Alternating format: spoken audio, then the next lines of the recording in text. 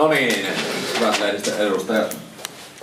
Molempien joukkueiden päävalmentajat, Jokipoikien Mikko Haapakoski ja Jukureiden Jarno Pikkarainen. Ja lähdetään tuosta Jukureiden päästä liikenteeseen, eli ensinnäkin Pikkaraiselle niin onnittelut voitosta. Ja sitten käyttikö hieman omaa peliä lävitte? Ehkä semmoinen peruspeli oli teillä kumminkin vahvempaa kuin Jokipoilla ja siitä tuo selkeä ero taululle varmastikin johtuu pääosin. Tänään pelattiin erinomainen ottelu, että oli hyvä latinkin lähettäessä ja saatiin siirrettyä se heti suorittamiseen. Ja hyvää päättävästi ja riittävän nöyrää myös sillä tavalla, että, että, että uhratuvasta kaikki puolin semmoinen henkinen maailma oli kohilla, kohilla ja pystyttiin puolustamaan tiivisti ja hirveästi annettiin paikkoja. Hyökättiin terävästi ja ennen kaikkea hyökättiin maalia kohti.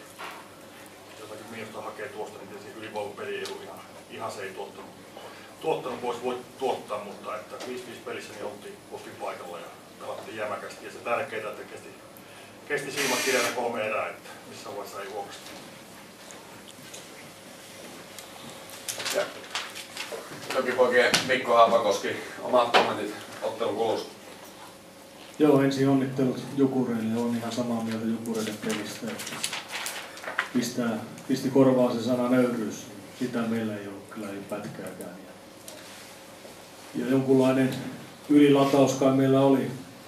Mentiin kotiyleisölle näyttämään kaiken näköisiä sirkustemppuja, kun taas vastustaja näytti, että miten tiukossa paikoissa pitää pelata. Ja, ylilataus ja ylipäätänsä se, että minkälaiseen maailmaan me ollaan menossa, niin, niin, niin tota, siitä mä otan oman piikkiin, että joukkueen valmistautuminen oli tämmöinen, mutta tota, kyllä joku vastuu sillä kovissakin pitää olla.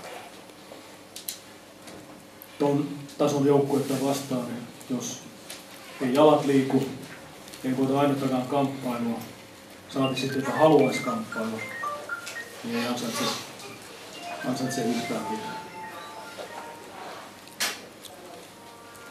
Ja lehdistä edustajilta niin kysymyksiä päävalmentajille. Oliko Edelmani ihan täysin kunnossa? Se oli päivällä vielä kokoonpanossa, mutta sitten vaihtui Spensseen tuossa ottelulla. Vai oliko tämä joku väärinpäin mennyt vaan noihin ilmoituksiin täällä? En tiedä tuosta yhtään. On kunnossa.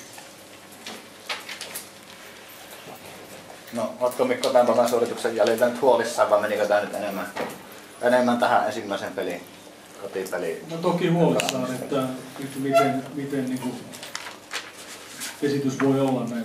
Toki pitää muistaa, Jukurit oli erinomainen, niin kuin Pike sanoi. Mutta se ei selitä tätä meidän aneemisuutta. Että kyllä meidän pitää pystyä paremmin haastamaan heitä.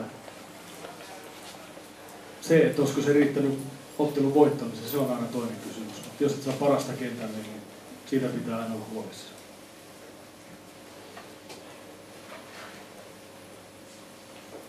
Vieläkö jollain lisättävää?